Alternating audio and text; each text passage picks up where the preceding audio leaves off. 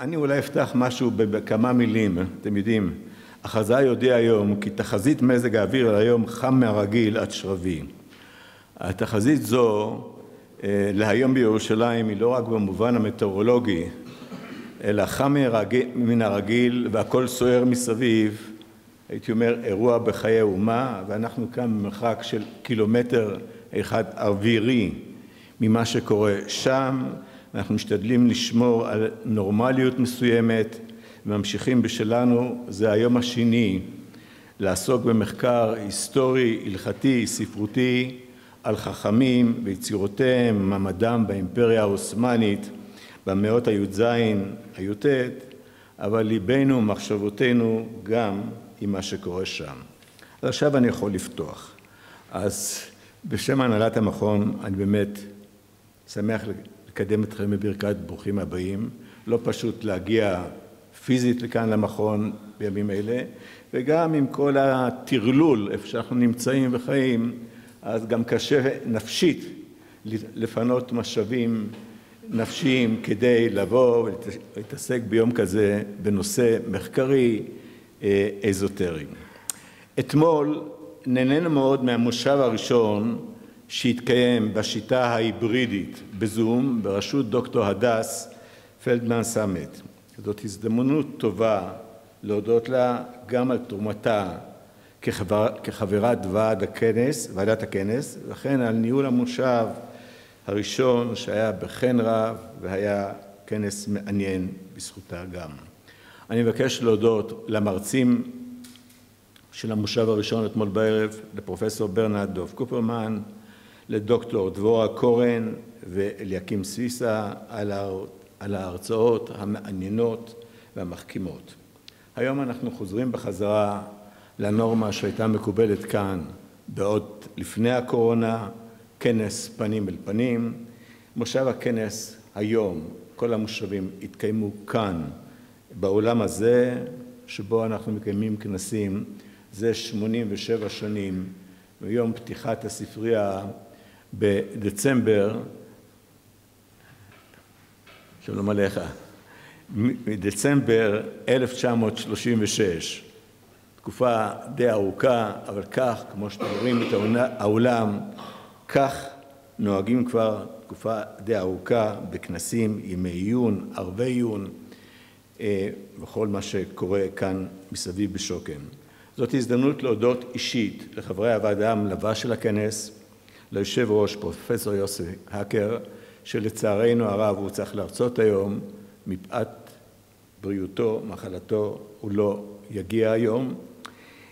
לדוקטור דוב הכהן שנמצא איתנו כאן, לפרופסור לאה מקובצקי, שוב לדוקטור הדר פלדמן סמט ולדוקטור נעמה סרי לוי שהייתה מרכזת הוועדה. אני מודה להם על התכנון, על המחשבה ביחד ועל גיבוש הכנס.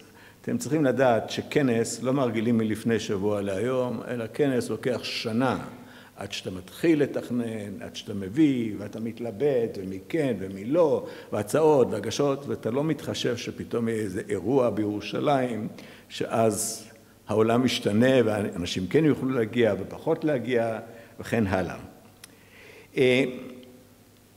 כפי שדוקטור פלדמן סמט הסבה את תשומת ליבנו בדברי הפתיחה שלה, הכנס הזה נועד ביסודו להסב את תשומת ליבם של החוקרים ללקונה במחקר העוסק בחכמי האימפריה העות'מאנית, פועלם ויצירותיהם בערים קושטא, סלוניקי ואיזמיר בין המאה י"ז למאה י"ט.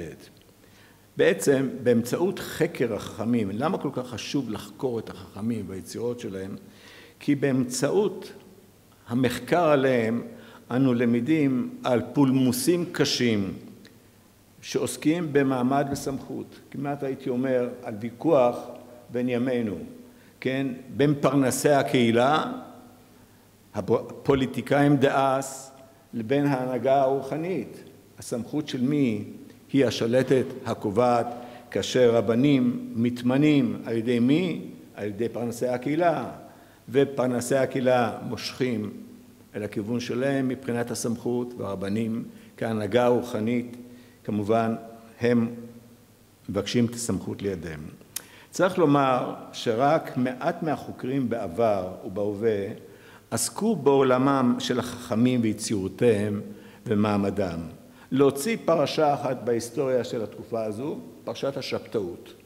הסיפור של השבתאות כלה בתוכו רבנים לא מעטים, נכתב עליהם רבות, אבל אה, מלבדם כמעט ולא נכתב עליהם, וגם על אלה שנכתב, שהיו מעורבים בפרשת השבתאות, של אחד מהם אני אדבר היום, אבל בכלל לא אתייחס לעניין השבתאות, כי זה לא הנושא שאני רוצה לדבר עליו, לא התייחסו ליצירות שלהם, מה הם כתבו, מה הייתה ההשפעה, מה היה האופי של היצירה, מה זה תרם, מה לא תרם, איך נכתבה היצירה הזו, על ידי מה היא הושפעה, האם, מה היה הרעיון של החכם, כמה זמן לקח מאז שהוא תכנן לכתוב את היצירה שלו עד שיצא לפועל. תגלו בהרצאה שלי שזה לקח 70 שנה אחרי מותו. הוא התחיל את חלק א', כרך ז' יצא 70 שנה לאחר מותו. קודם כל הדינמיקה הזו היא צריכה לעניין אותנו. עכשיו, כבר העירו קודמיי על דלות המחקרים שעוסקים בתקופה הזו. בזמנו פרופסור יעקב לנדו במאמרו המקורות לחקר יהודי מצרים ויהודי טורקיה בדורות האחרונים אה, אמר דברים די עניינים שחלקם ציטטתי בכנס הקודם בשנה שעברה אבל חלקם אחר הולמים גם את הכנס הזה והוא כותב כך יש אולי לטעות על כך מדוע מלומדים מעולים מתרכזים בחקר ההיסטוריה של יהודי האימפריה העות'מאנית במאה ה-15, ה-16, ה-17 בעוד שחוקרים כה מעטים מתעניינים ביהודי האזור הזה בדורות האחרונים. נדמה לי כי התשובה העיקרית נעוצה בבעייתיות של המקורות. ברם נראה שאין זו התשובה היחידה. דומה כי בקרב רבים וטובים עדיין מקננת ההרגשה כי על היסטוריון טוב ומכובד להתרכז בתקופות קדומות יותר. על כל פנים, קודם המאה ה-19 ובוודאי קודם המאה העשרים. הגישה הזאת ידועה לנו מאוניברסיטאות אירופאיות, אשר במשך שנים רבות כיבדו את חוקרי יוון ורומא יותר מאשר חוקרי תקופות מאוחרות יותר. עכשיו, הדברים האלה של לנדו נכתבו ב-1985. נדמה לי שמאז השתנו העיתים, הן ביחס למחקר ההיסטורי של המאה, המאות ה-18 וה-20, והן ביחס לבעייתיות של המקורות שעליהם רמז לנדו.